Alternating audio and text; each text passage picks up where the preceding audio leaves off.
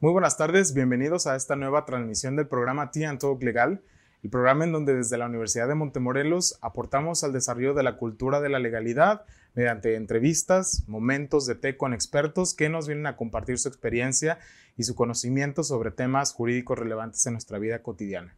Les extiendo una bienvenida y les invito a que compartan esta transmisión porque el tema de hoy es sobre mecanismos alternativos de solución de controversias y tenemos una invitada de primer nivel que nos hablará sobre las implicaciones de estos en nuestra vida. Así que sean muy bienvenidos.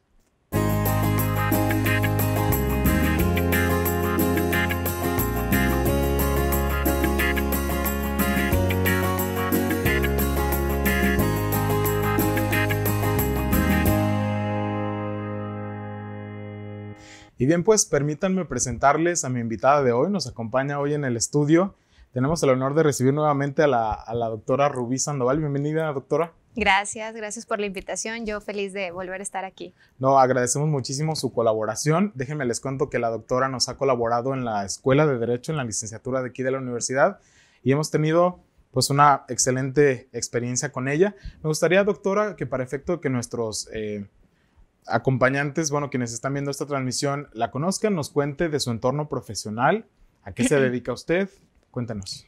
Bueno, pues este, soy doctora en mecanismos alternativos para la solución de conflictos. Hice una investigación en Vivo España. De ahí este, tuve eh, la fortuna de conocer a diferentes abogados y magistrados en, Madrid, en Barcelona, en Pontevedra, Galicia. Entonces, eh, he compartido esa, esa parte de, de, la mediación intrajudicial, ¿no? Y bueno, pues eh, hoy actualmente eh, sigo llevando asuntos como abogada litigante, más sin embargo también estoy como directora dentro del Centro de Mediación de, de CEMAS.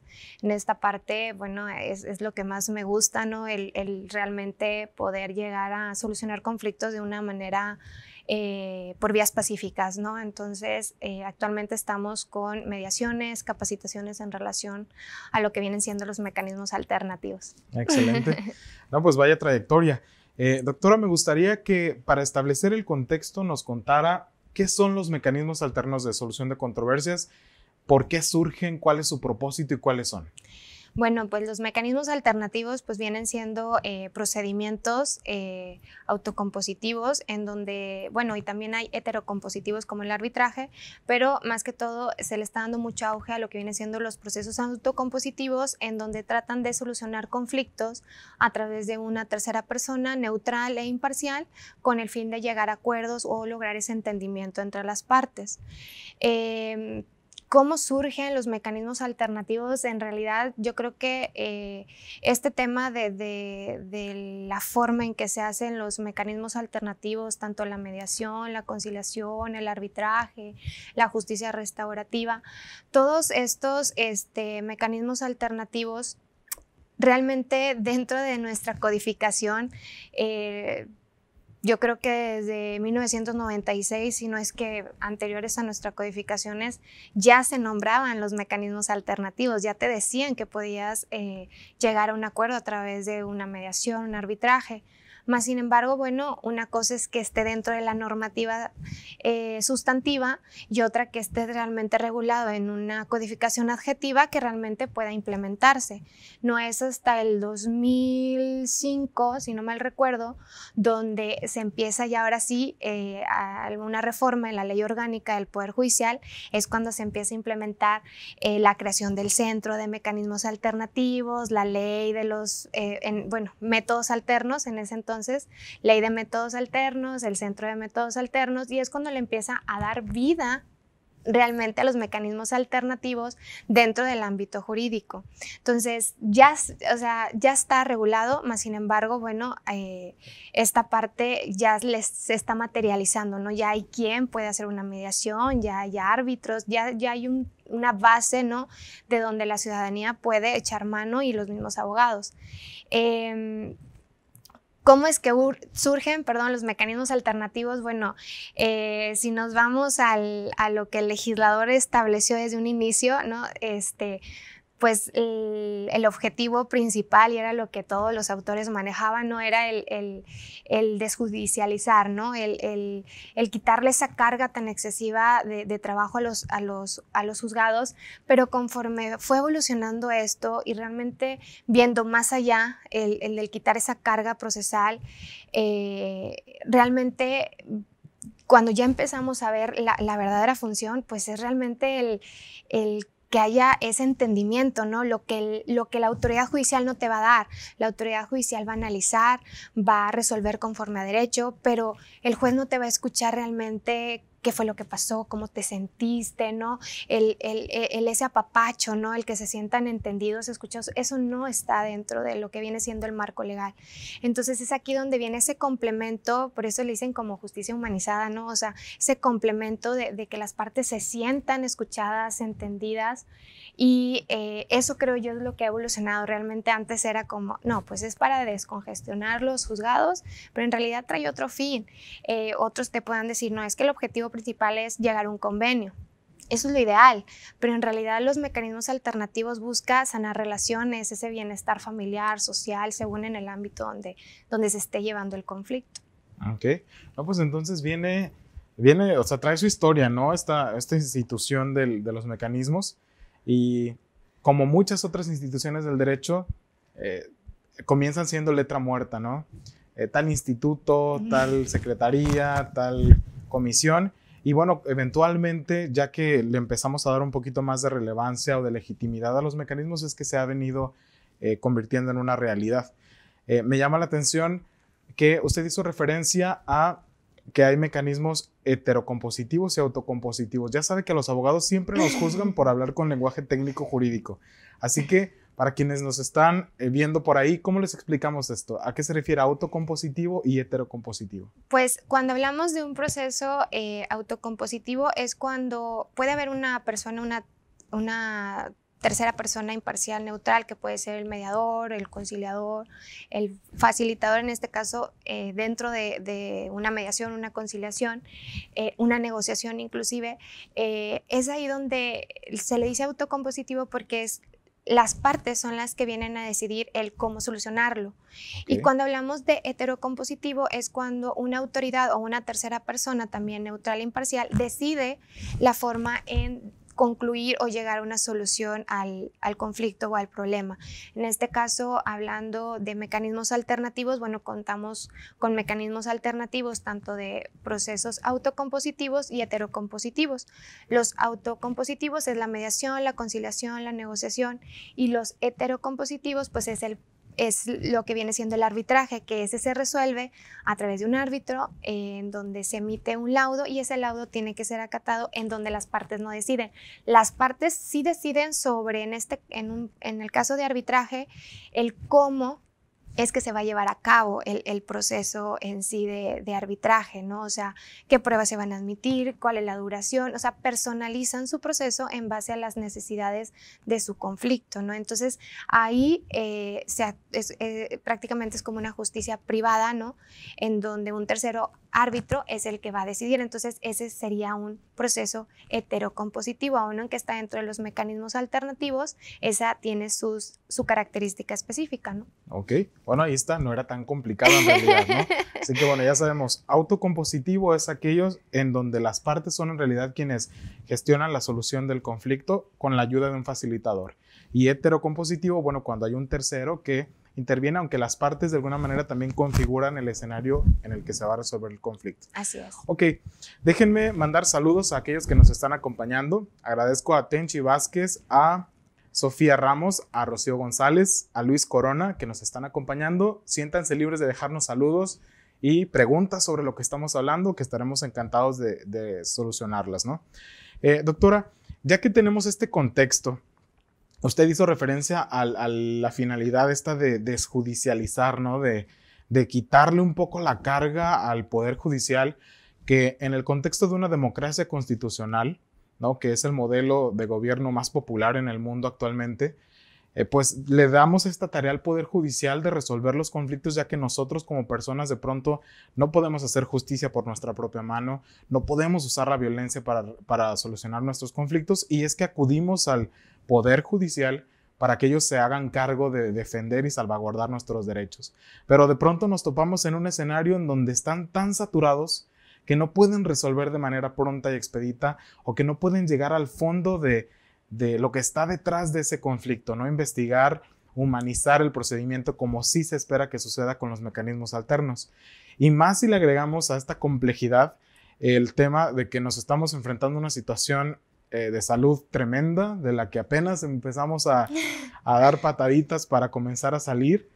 Eh, y cuénteme cómo este complejo escenario ha impactado eh, la gestión de, los mecanismos? Bueno, pues eh, creo yo que este, este cambio de lo que viene siendo antes de la pandemia, durante la pandemia y después de la pandemia, eh, creo que nos ha obligado como ciudadanos o como mediadores en este caso el realmente empezar a transformar hasta nuestra forma de llevar a cabo nuestros, nuestra gestión de conflictos, ¿no?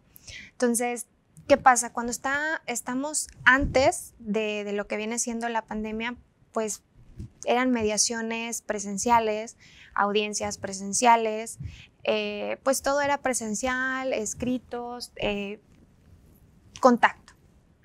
Viene el tema de lo que viene siendo la pandemia, que fue algo como muy radical, ¿no? O sea, fue así como, no fue ni paulatino, no fue como confinamiento, ¿no?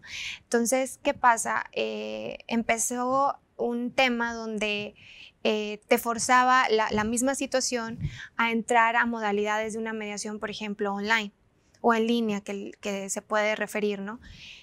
¿Qué pasa? Eh, empieza a haber este tema de que sigue habiendo la necesidad de resolver conflictos, sigue en el tema del sistema de justicia, sigue habiendo conflictos, demandas, eh, en donde no, no puedes permitirte el parar, ¿no? Sino tienes que buscar la forma, el cómo sí, el cómo sí dar ese servicio, el cómo sí lograr eh, dar esa satisfacción a lo que viene siendo la sociedad, ¿no? Cómo adaptarnos. Adaptarnos. Entonces es ahí donde la verdad yo sí era muy, este, eh, digo, no me considero ser una persona de mucha edad, pero tampoco tan, tan joven. Y sí era un tema de que yo decía, no, pues yo presencial estoy más que servida. Sí habíamos escuchado de la mediación online y cuestiones así, pero viene esto y ya no es como una opción, o sea, si la quieres o no, ya es como tienes, sí, o sea, tienes que hacer la mediación este, online, en línea. Eh, el, tema de, el, tema de presentar una demanda, pues también saber utilizar las plataformas, la audiencia, las salas, todo eso te, te fuerza a, que, a, a realmente intentar involucrarte en cómo es que se va a llevar a cabo esto, ¿no? El no quedarte atrás también. Entonces, parte de, nuestro trabajo como centro de mediación privado, pues no, no era opción, o sea, es o le entras o, le entras, ¿verdad? Porque te lo está exigiendo la misma ciudadanía. Y aparte tenemos las herramientas, tenemos la tecnología para llevarla a cabo. Entonces sí fue un proceso de, ok, eh, apoyo con gente de sistemas, que la verdad es que eh, sin ellos yo creo que hubiéramos sufrido mucho, ¿no?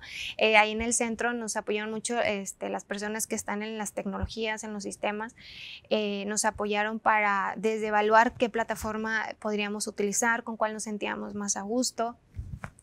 Eh, imagínate que, como mediador lo primero que tienes que dar a, las partes es la seguridad y la confianza y entonces imagínate estar tensionada, pues lo vas a reflejar al momento de estar manejando una plataforma.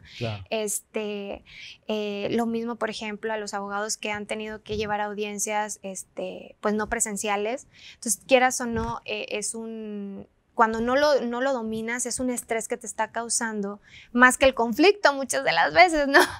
Entonces, este, esto nos permitió realmente desarrollar estas nuevas habilidades, estas nuevas capacidades, el entrenar previamente eh, con los mismos mediadores, es decir, a ver, ¿y cómo hago una sesión? ¿Y cómo comparto? ¿Y cómo se genera el link? ¿Y cuáles son las características que se tiene que ver al momento de, generar una sesión de mediación?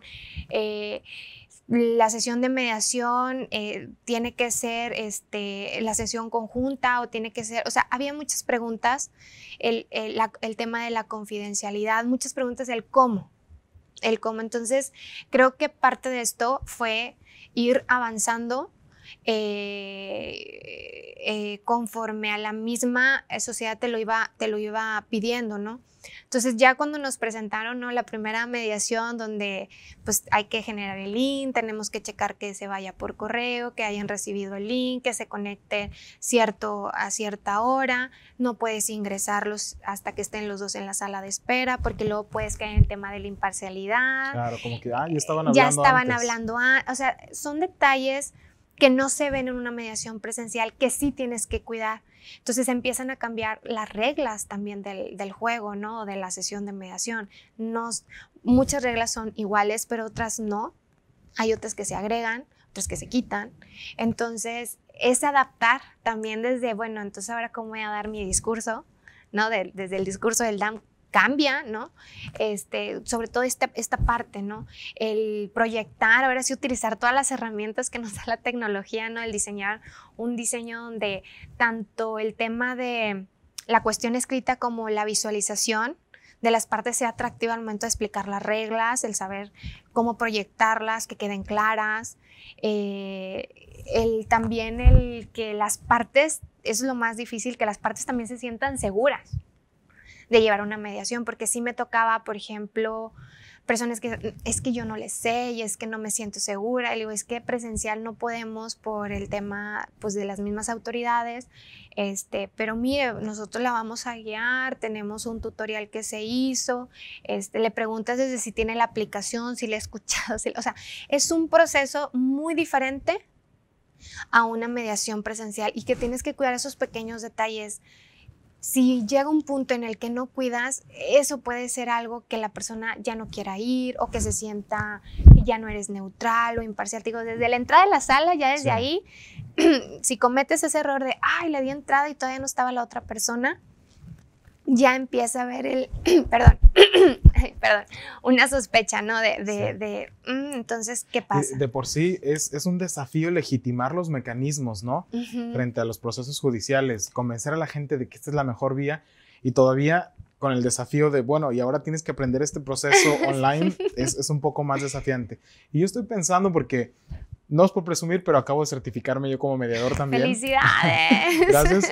Pero fíjese que no nos tocó ver la mediación en línea. O sea, nos, capacitaron en el marco de la mediación presencial. Así que yo quiero, en favor de todos mis colegas que apenas se certificaron y no saben estas, estos matices de, de la mediación en línea, que nos cuente los aspectos más relevantes a tomar en cuenta, ¿no? Considerando que son principios que se mantienen en el fondo, pero las reglas de forma son las que se adaptan. Pero vamos a hacerlo después de este corte, así que síganos acompañando que ya regresamos. Bienvenidos de regreso, estamos aquí en TIA en Todo Legal hablando con la doctora Rubí Sandoval sobre mecanismos alternativos de solución de controversias. Licenciada, antes del corte le contaba que pues algunos somos eh, neófitos, mediadores, ¿verdad? Y eh, nos toca dar este brinco de adaptar esta capacitación que, nos, que recibimos para el escenario presencial y ahora que nos toca practicarlo, pues no hay un escenario presencial, sino es virtual, ¿no? Eh, sabemos que los mecanismos tienen principios y que estos principios están en el fondo de todas las acciones que el mediador o el facilitador, eh, dependiendo del mecanismo específico, realiza. Entonces, eh, al momento de trasladarlo a la, modalidad virtual, ¿cuáles son estos aspectos que, cambian o que se adaptan que, ahora el nuevo facilitador debe tomar en cuenta? Pues bien, cuando ya empezamos a hablar de mediación virtual, primero tendríamos que empezar a entender, bueno, el concepto, ¿no? En realidad la mediación en línea o virtual o este, mediación a un clic, ¿no? O, mediación a distancia, eh, en, realidad pues viene siendo un proceso de mediación eh, que se lleva a través de una plataforma digital o de tecnologías, en donde se trata de gestionar el conflicto a través de una tercera persona que es un cibermediador. ¿Qué es esto? Eh, el cibermediador, pues, aparte de las técnicas y habilidades que ya desarrollaste, por ejemplo, en un mediador certificado, ¿no? Eh, se busca que esta persona pueda también empezar a tener esas capacidades y habilidades en el manejo de plataformas donde puede gestionar conflictos a través de a través de un espacio y tiempo, es decir, en un mismo tiempo, aunque sea en un diferente espacio, pero en un mismo espacio virtual. Ok. Ok, entonces, ¿qué pasa aquí? Aquí lo que se busca es eh, que esa distancia no nos limite para realmente poder gestionar conflictos.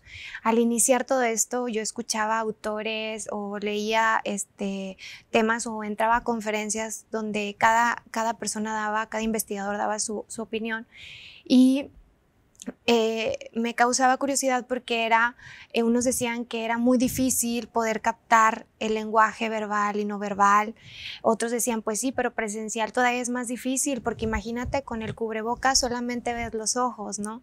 Eh, yo recuerdo que dentro de las capacitaciones que yo, que yo realizo, yo puse, y todavía no está esto de la pandemia ni los cubrebocas, pero me llamó mucho la atención un ejercicio de lenguaje no verbal solamente los ojos donde tú podías ver solamente los ojos y detectar si estaba enojado, si estaba triste, si estaba melancólico, ¿no? Era un test, ¿no? Este, de, un, de, una, de un investigador. Entonces me llamó mucho la atención y yo lo traje para, para este tema. Entonces, y lo había retirado. Entonces ahorita con todo esto de la pandemia creo que lo voy a volver a regresar porque creo que es muy valioso también. Eh, va a haber este, como dices, ahorita ya estamos volviendo a salir, ¿no? Pues a lo mejor ya van a empezar a ver otra vez las mediaciones este, presenciales y pues vamos a, en muchos de los casos te vamos a tener que traer el tema del cubrebocas, ¿no? Eh, posiblemente. Entonces, son otras habilidades donde si antes te enseñaban solamente a leer este, ciertas partes del cuerpo, donde tú podías ver en tu mesa, ¿no? Manos, pies, si tiembla, que si no tiembla, calibrar. Eh, decían que no se podía a través de una plataforma calibrar y que no podíamos identificar emociones o analizar el lenguaje verbal y no verbal. Y lo curioso es que yo me di cuenta que sí, hasta puedes hasta empatizar dentro de una plataforma. Entonces, este, ¿cómo te vas dando cuenta? Solamente las habilidades, tú ya tienes las bases, solamente es empezar a adaptar a esta nueva modalidad. Eh, algo que yo vi al momento de calibrar es, por ejemplo, cuando las mediaciones presenciales yo podía durar hasta tres horas, por ejemplo, mediando y llegar a un convenio en tres horas. Sí. Eh, pero en mediación online o en línea no, me, no, no dura, porque es muy cansado, es muy pesado estar sentado a través de, una, de pantalla a pantalla y me, me em, empiezas a, a, identificar que la persona ya empieza a moverse, ya empieza a mirar hacia los lados, haciendo de que como si ya se tuviera que ir. Entonces tú empiezas a analizar esos movimientos y intervienes. Este, si sienten que ya este, eh, la sesión se está prolongando más de lo que ustedes este, esperan, podemos suspender la sesión o darla por terminada esta sesión para retomarla en una siguiente este, y luego, luego salta uno. Sí, sí, la verdad es que yo nada más tenía pensado, este, no sé, una hora. Entonces, en las sesiones en línea es una hora, una hora y media. No, no me ha tocado una mediación que me dure dos horas eh, o si ya son dos horas es porque las mismas partes ya como, que quieren correr al convenio. Y cuando es presencial sí siento como que, como están de face to face, es como, no, y esto, y empiezan ellos mismos a prolongar, y nosotros somos los que estamos tratando como de controlar esas fases para pasar a la siguiente, no quedarnos estancadas. Y en línea es, e, esta parte sí fue como curioso y distinto a, una presencial. Otra de las cosas eh, importantes creo yo es que nosotros en, la mediación presencial y yo iba y hacía las invitaciones a, los mediados, este, yo llegaba, tocaba y daba mi, mi invitación y desde ahí tú ya ibas viendo eh, la actitud de la persona, si va a ir. Cómo la recibía, cómo reaccionaba todo eso. Y ahí tú ya también estabas haciendo una labor increíble porque era como, a ver, déjame, se le explico, nosotros somos un centro privado, nosotros no somos autoridad, este debe de aprovechar esta gran oportunidad que le está dando fulanito de tal para solucionar el conflicto sin llegar a tintes legales. Este, yo eh, les recuerdo que nosotros somos personas neutrales, validados por el mismo Poder Judicial, sin, sin que esto sea un proceso judicial. Entonces sí, le hacías como mucho, recal, o sea, recalcabas puntos importantes. Entonces tú ibas leyendo el lenguaje no verbal de, de ser una posición como, ¿no? O sea, no, no distante, ¿no? A una posición ya como de, de, de ya ese acercamiento que tú empiezas a sentir que ya está ahí un tipo de report, ¿no? Con la otra persona. Entonces, eh, y ya cuando empiezas a ver que la persona se empieza a abrir y a explicarte, su versión, aunque no estés dentro ya de una mediación, es inevitable que te lo expliquen. También te ayudaba mucho porque ya entendías como el contexto más allá, la actitud, eh, corroborabas ahí mismo si estaba bien de acuerdo con esa fecha, si tenía la disposición, si no en este momento se podía hacer, has aceptado una propuesta de cambio de fecha y hora, si ese día y esa hora no, no se podía, con expectativas de confirmarle, ¿no? ya vía telefónica o por medios electrónicos. Pero sí esta parte, esta primera intervención, tanto del solicitante como del, invitado, eh, para mí era muy importante porque tú ya te dabas cuenta de que no, no va a venir, o sí va a venir, o creo que si le volvemos a insistir, si viene. Ya te dabas una idea. Eh, y ahora sí que me da risa, pero sí es como eh, las personas que dicen, sí, sí quiero ir, pero no, pero no van, siempre ponían de pretexto, es que el tiempo, es que la distancia, y es que, es que, es que, es que, es que.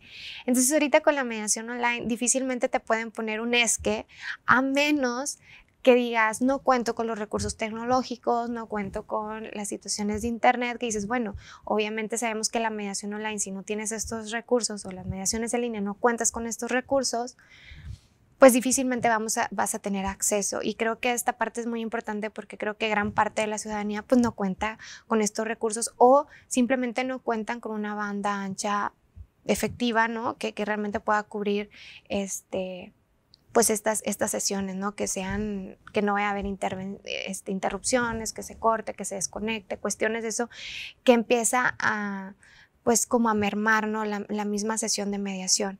Eh, ese es un punto muy importante de, de cuidar. ¿no? Eh, y bueno, por otro lado, otro de las, de las cosas este, que em, empiezas a ver en la mediación en línea es que, bueno, ya todo es vía telefónica, eh, vía correo electrónico, WhatsApp, eh, el solicitante pues le mandas eh, la invitación por correo, por WhatsApp, le llamas para corroborar si le llegó o no le llegó la invitación, este, y entonces ahí empiezas como a hacer este, este proceso de, de, eh, explicarle de una, de una forma distinta y ya tu último recurso es el poder, el, lenguaje del, tono de voz, los silencios, o sea, ya el lenguaje corporal ya no lo tienes, es, solamente el, eh, ahora sí que el lenguaje verbal. Eh, neto, o sea, entonces sí era como complicado que te pueden estar diciendo que sí y su lenguaje del otro lado era un no, entonces sí, es, sí era un poco más complejo el determinar y yo me di cuenta que ahí yo ya no teníamos como esa certidumbre de si se va a conectar, no se va a conectar. Y parte de esto es que también pudiéramos, eh, que las partes se sintieran, eh, ahora sí que como nosotros como mediador nos preparamos para manejar estas plataformas, también le tienes que dar ese recurso a las partes previamente. Es decir, tú tienes que eh, explicarle si tiene la aplicación, si no la tiene, si la ha usado, si la conoce. Eh, Las reglas de, la convivencia en la sesión de mediación ahora van a atender al aspecto tecnológico también, ¿no? Exacto. Levanta la manita ahí, por ejemplo, en las plataformas educativas, lo que conocemos, compartir la pizarra en lugar del rotafolio que se usa de manera presencial y todo esto. Y doctora, creo que nosotros tendemos a enfocarnos en lo malo, ¿no? En los desafíos, no, es que va a ser muy complicado. Pero usted mencionó algo que me está haciendo pensar que probablemente la modalidad también tenga elementos positivos. ¿no? Porque, eh, por ejemplo, atender un conflicto entre dos personas de, un estado que está al norte y uno que está en el sur, ¿se puede llevar en línea este tipo de, asuntos? Sí. Una de las cosas positivas que yo vi es como todo. A ver, cosas muy padres, otras no tan padres, y bueno, eso es, eso es inevitable. Y si comparamos, pues son gestiones un poco distintas ¿no? en cuanto a la vía.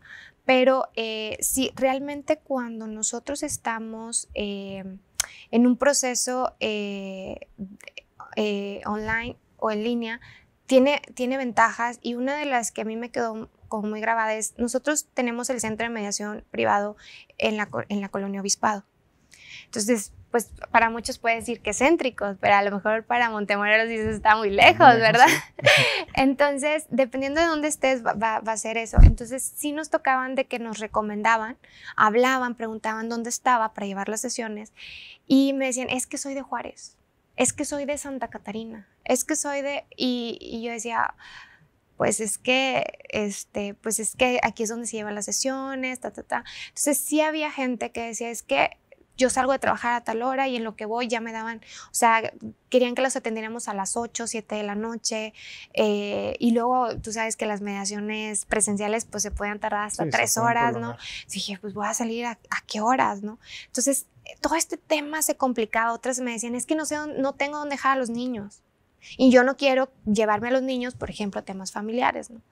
Entonces, era una situación compleja. Yo trataba de, recomendar a otro centro de mediación que yo conocía que estaba pues más cerquita, pero volvemos, Santa Catarina, Juárez, ¿qué centro les quedaba céntrico? Entonces sí era como muy complejo esta parte, eh, se, iban varios clientes por, por este tema. Y creo que con esto de la mediación en línea, esta parte de este tipo de personas que hizo, ya sabes que es que es algo muy tarde, pero yo ahorita tengo dos horas donde puedo llevar mi mediación en línea, me organizo.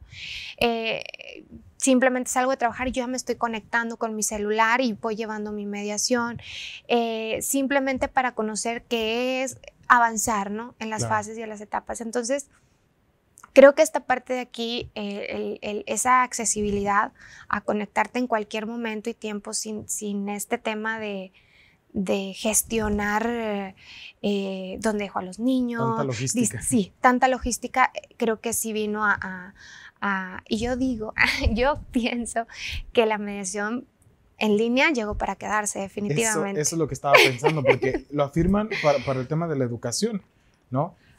Sabemos de los beneficios de la presencialidad, es lo que nos gusta, ver a los muchachos, ver a las partes en la mediación, todo esto, pero de pronto está para quedarse porque habrá casos en los que lo mejor será llevarlo eh, por esta vía, ¿no? Vamos a hacer un pequeño corte y tenemos aquí una, una pregunta de Alfredo, Alfredo, Martínez. Dice, ¿qué asuntos jurídicos puede intervenir un mediador? ¿No? ¿En qué asuntos jurídicos eh, se pueden llevar a cabo eh, o gestionar a través de los mecanismos o de la mediación? Y bueno, vamos a hablar también que el derecho abarca ciertas áreas o ciertas materias en las que los mecanismos alternativos toman una forma eh, más específica, ¿no? Más establecido. Pero bueno, vamos a revisar esta respuesta al regresar del corte. Estamos de regreso aquí en TN Talk hablando con la doctora Rubí acerca de los mecanismos alternos de solución de controversias. Hemos hablado ya un poquito de de la manera en que se hacen eh, más relevantes en nuestro sistema jurídico y de los beneficios que plantean, ¿no? De, esta necesidad de adaptarnos a la nueva realidad, como así le han referido, y de las ventajas o desafíos que puede presentar esta modalidad en línea, ¿no? Vamos ahora, doctora, a, atendiendo la pregunta de Alfredo Martínez que nos pregunta, ¿qué asuntos jurídicos se pueden llevar a través de un mediador o en cuáles puede intervenir un mediador? Habíamos establecido que eh, el derecho suele clasificarse por materias, ¿no? Tenemos la materia familiar, la materia laboral, penal, civil, mercantil.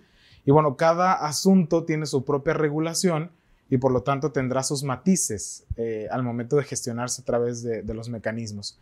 Eh, ¿Qué nos puede decir de esto? Bueno, la regla general lo, establece lo que viene siendo en la ley de mecanismos alternativos para la solución de conflicto en nuestro estado de Nuevo León.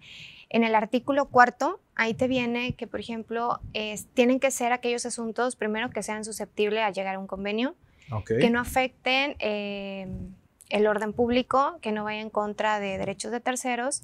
Este, entonces, cuando nosotros eh, analizamos eh, la normativa según la materia en la, en la, que estemos, siempre tenemos que ver que no vaya en contra de alguna norma, que no vaya en contra del orden público, que no se afecte algún derecho de tercero y que eso sea susceptible de llegar a un convenio. Esa es la base fundamental para determinar eh, si es viable o no derivar un, un asunto o una controversia.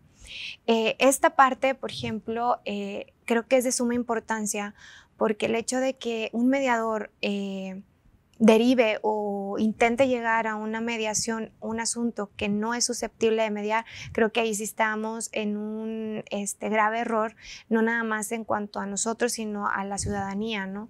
Donde le vas a hacer perder su tiempo en cuanto a esto y obviamente pues una mala percepción de lo que vienen siendo los mecanismos alternativos creo yo que eh, es de suma importancia tener esos conocimientos básicos de cada una de las materias para no, no llegar a cometer ese error. Eh, me ha tocado, eh, se lo recomiendo, en, en, España cuentan con un manual en cuanto a las prácticas de derivaciones, es decir, te dicen, te dan, como una encuesta muy, muy, este, muy precisa de cada una de las materias, de materia civil, mercantil, familiar, en donde no nada más, ojo, no nada más estudian esta parte del artículo cuarto, ¿no?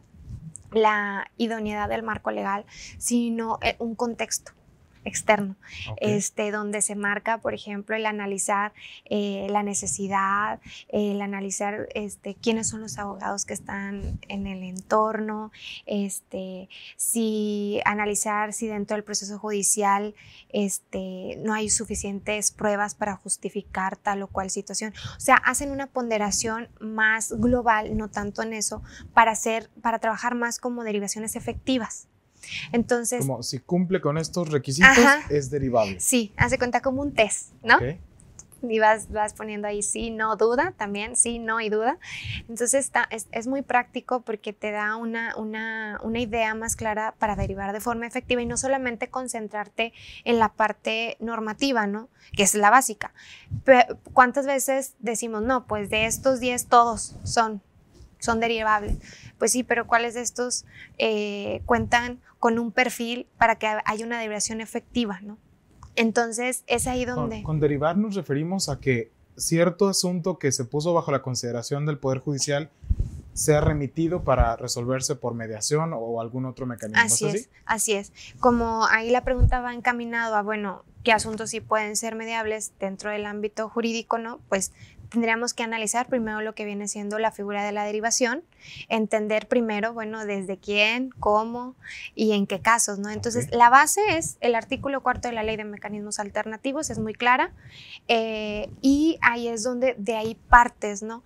Obviamente, por ejemplo, si hablamos en materia penal, bueno, pues ahí tendríamos que ver que en caso de violencia, pues no entra, delitos graves no entran. Entonces, en, en, en el caso en particular, si hablamos, por ejemplo, de conciliación laboral, que ahorita, bueno, está está este, con esta ley federal, bueno, pues también el decir, bueno, pues no, no puedes negociar o, mediar temas de los derechos de los trabajadores. Entonces, cada materia tiene su, este, su particularidad que es importante, por eso en España tienen ese manual. ¿ok? Ese manual donde dicen, bueno, estos son los tipos de derivaciones y son de muchas materias. Entonces ya te da como un contexto, ¿no? Más viable de decir, ah, mira, esto sí se puede, esto no. Estos son más efectivas que se puedan llevar, que puedan llegar a una derivación y que realmente se vayan a mediación. Porque el objetivo al final de cuentas de la derivación es que se lleve, no, no, no nada más, ah, pues no, dijo que no, nos regresamos. Buscar el cómo sí. Claro, porque de otra forma sería un tropiezo que el mismo Poder Judicial se pone, ¿no? Deriva un asunto que al final no se va a poder resolver, nomás se tardó más y luego regresa, ¿no? Qué, interesante. Y hablando de las, de, bueno, respondiendo concretamente a la pregunta de, Alfredo, son, eh, hay diversidad de opciones dependiendo de la materia, pero habrá que cumplir con estos supuestos que refiere el artículo cuarto, ¿no? Sobre todo el tema de la violencia, que es, que es importante y trascendente ahí al momento de elegir lo mediable o no. Así es. Eh, eh, por ejemplo, licenciada, usted es experta en mediación familiar, ¿verdad? Sí. ¿Qué, cualidades hay o qué hacen la mediación familiar diferente a las otras materias? Si uno va a acudir a mediación familiar, ¿qué debe esperar de manera especial de este tipo de mediación? O sea, a mí me llega una mediación familiar, ¿en qué le debo poner atención? Ayúdeme con eso. La mediación familiar, pues ahora sí que eh, ningún caso es igual, sinceramente. Eh, puede ser la misma, las mismas pretensiones o pero en realidad nunca, nunca es lo mismo. Eh, hay muchas emociones de por medio, hay que calibrar. Eh, cuando, por ejemplo, estamos hablando de una mediación en línea o presencial, sí definitivamente con el tema, y vuelvo en línea, es buscar, sobre todo cuando son mediaciones familiares, es realmente diseñar y estructurar la metodología que vas a utilizar en el proceso de mediación, porque cualquier cosita que tú hagas por muy mínima que sea, puede crear esa desconfianza a lo que vienen siendo las partes. Otra de las cosas que, que, nos ha sucedido es, por ejemplo, están las partes y de repente hacen uso de los emojis. y hacen el así, entonces es como... Cuando, el otro está tomando la palabra le ponen ajá, entonces es como, eso por ejemplo no lo habíamos previsto. Entonces era así como, ok, este, bueno, les recuerdo este, que cuando una de las partes esté hablando, este, hay que respetarla ya posteriormente pues voy a pasar con la otra parte, por favor no hacer uso de los emojis, no es necesario, etc. ¿Por qué? Porque no sabes cómo lo está percibiendo la otra persona eh, o a lo mejor la otra persona este, puede hacer un emoji de aplauso y a lo mejor él no, los, no lo entiende o no lo identifica de entrada. El tema de chat, ya ves que el chat está, puedes habilitarlo, ¿no? especificar que el chat es para el montado eh, compartir documentos, las IFES o algo que, se necesite compartir para que ambas partes quieran este, o necesiten tenerlas para analizar o una contrapropuesta o algo, este, se puede manejar. Entonces, eh, realmente el, tema de una mediación familiar sí como hay muchas emociones y es cuidar esa, esa parte. Eh, lo que viene siendo las mediaciones familiares eh, tanto presenciales como no, sí es muy importante y cuenta mucho, por ejemplo, el asesor que traiga. Cuenta mucho y es el que nos va a determinar si ese asesor va a ayudar a la, a la creatividad de la resolución del conflicto o va a apoyar para que el proceso eh, o el conflicto más bien no se vaya por esa vía. Entonces, sí tiene mucho que ver en materia familiar, el asesor que traiga, eh, la emoción que esté de por medio, el, ahora sí que el, en dónde está ubicado el conflicto, en qué nivel está para poderlo bajar. Eh, en materia familiar, cuando ya logramos calibrar esas emociones, es cuando la mediación familiar ya puede caminar, podemos caminar. Cosa muy distinta, por ejemplo, en materia mercantil que el material mercantil normalmente, y no generalizo, pero hay representantes legales. Y entonces ahí la dinámica es totalmente distinta porque ellos están en automático como en negociación. ¿no? Entonces ahí también es como eh, tratarlos de abocar a que es una mediación, en realidad ver que, que esta situación no vuelva a pasar. Y, y que si vuelve a pasar, bueno, qué, va, van a hacer, ¿no? Entonces, este, es distinto la forma. También nos ha tocado en materia mercantil que sean las partes, ¿no? Directamente. Y diría, no, pues no hay emociones, no, sí, sí las hay. O sea, en sí en materia familiar sí hay muchas emociones, pero son como más apasionadas, más de intensidad. Y en el mercantil sí hay emociones, pero hay una emoción un poco distinta. Es cuando sientes, eh, te están tocando tu economía, ¿no? Entonces, más patrimonial. El sí, más patrimonial en ese aspecto. Eh, y, eh, por ejemplo, en materia laboral, pues creo que también ahí hay un tema pues no similar a la materia familiar, pero sí también hay un tema de yo te entregué tanto tiempo a esta empresa o la empresa puede decir yo te capacité tanto y ahora te me vas a otra empresa, no te quiero liquidar o puede haber un sinfín de situaciones, pero en realidad todo conflicto hay una emoción, porque cada emoción a final de cuentas provoca una reacción, una acción, ¿no? Entonces, eh, podríamos decir, algunas pueden tener más emoción, otras menos. Creo que en todas hay emoción, hay un conflicto, pero en forma eh, manejada a lo mejor de forma distinta, este más, este, a lo mejor apasionado o celoso o se siente defraudado. Entonces, cada una según el conflicto o el tipo del conflicto es la emoción o el sentimiento que están ahí generando. Entonces, en realidad, el mediador siempre va a tener que trabajar con emociones. Difícilmente no, no, no, no trabajarías. Entonces, si hay, unas, sí hay particularidades en cada uno, pero en realidad en todas está esa emoción, o sea, en realidad siempre tenemos que estar alerta y calibrando esto. Ok, fíjese doctora que me está haciendo recordar, estoy tomando por ahí algunas unas lecturas de ética profesional en la enseñanza del derecho y yo creo que, bueno, no sé su experiencia en la licenciatura eh, o en el posgrado incluso, pero a nosotros como que el tema de las emociones, velar por los intereses, por el bien mayor, ¿verdad? Buscar una solución más adecuada, valorar a la persona, otorgarle las herramientas, que bueno, es lo que hablamos acá en mediación, como que no, no le ponen mucha atención en eso cuando nos preparan, ¿no?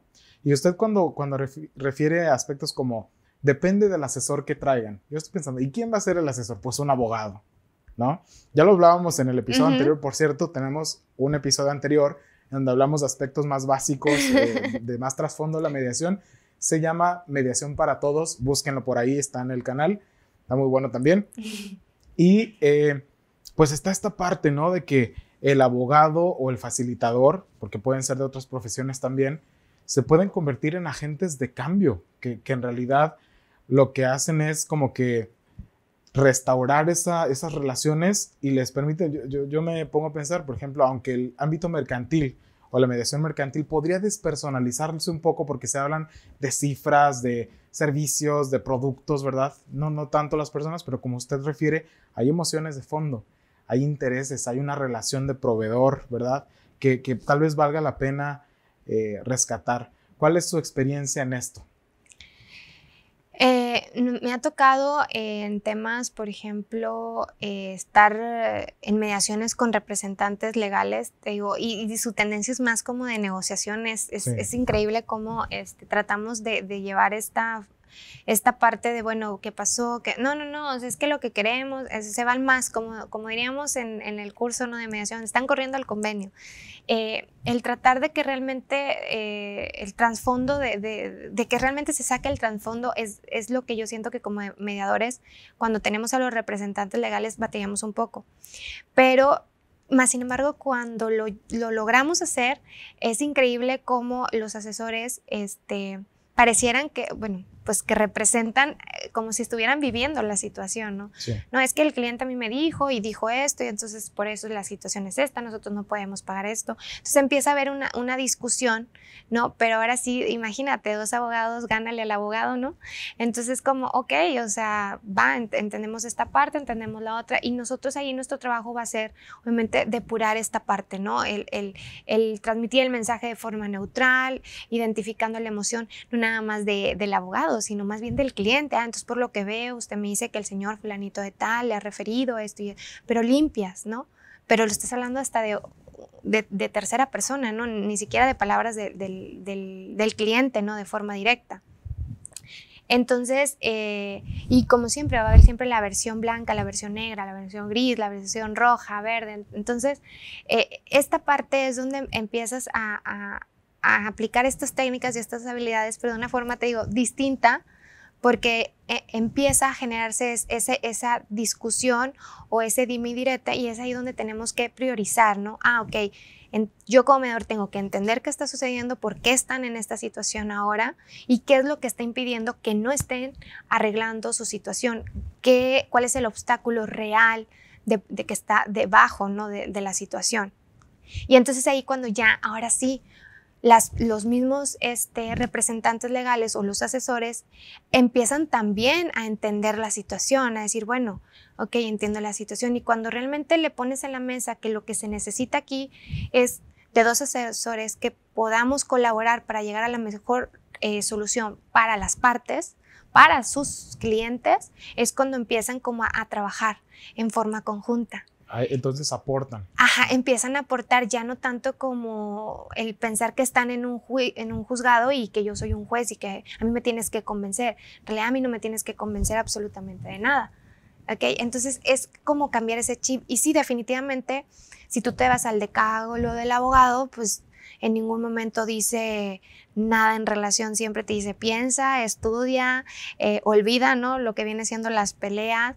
Entonces, no hay una parte, apasionate de la materia, ¿no? Pero no hay una parte donde, ¿qué te dice? Defiende el derecho, ¿no?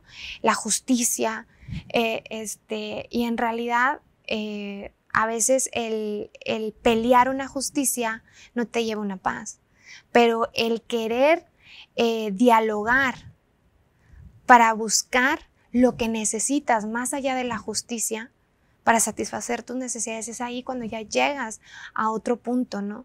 Y es aquí donde el abogado trae una cultura jurídica de litigio. E-, esa es la formación que tenemos. ¿Por qué? ¿Qué te dicen? Defender el derecho. ¿Ok? Defender la justicia. Aplicar el derecho, defender la justicia. Entonces, el hecho de que dentro de la mediación empieces a hacerle ver a los abogados que en la mesa de mediación es una cultura jurídica del diálogo colaborativo no venimos a tener una cultura jurídica de litigio, porque eso es en juzgados y está bien. Como siempre he dicho, sí defiendo esa parte, está bien. Pero hay muchas cosas que se pueden resolver por una cultura jurídica del diálogo e inclusive podemos iniciar una cultura jurídica de litigio y dentro del juzgado buscar las bondades de los abogados para que también puedan tener la habilidad y la destreza de transformar el litigio en una, en una cultura jurídica del diálogo dentro de juzgados sin necesidad de decir, bueno, déjame, me salgo, ¿verdad? Claro, resignificar el, litigio. Entonces es, es empezar a trabajar esa colaboración, pero para buscar ahora sí una justicia humanizada, realmente en una justicia en base al, al, al, litigio.